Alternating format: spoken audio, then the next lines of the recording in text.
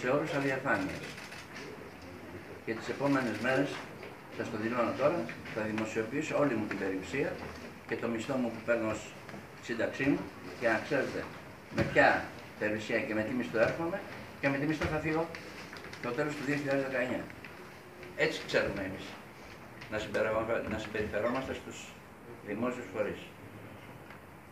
Και είναι συμβολική, δεν έχει, να κάνει καμία, δεν έχει καμία σχέση με το έργο που θα παρέχουν οι άλλοι φίλοι και σύντροφοι και σας εξήγησε ο κ. Υπουργός, είναι συμβολική διότι πρέπει να γίνει ένα μήνυμα προς τους εργαζόμενους οι οποίοι πράγματι ε, είναι μεγάλο πρόβλημα το γεγονός ότι δεν έχουν πληρωθεί δύο μήνες.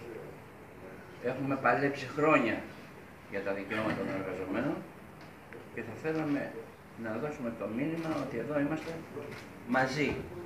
μαζί. Χωρίς τους εργαζόμενους του ΟΑΣΤ δεν μπορεί να υπάρξει δυνατότητα βελτίωσης των συγκοινωνιών. Για μας αυτό είναι κανόνας. Θα δούμε το σύλλογο του προσωπικού αμέσως μετά την συνάντηση με τους διευθυντές, κυρίως για να γνωριστούμε, να ξέρουμε με ποιους έχουμε να κάνουμε. Έφυγε ο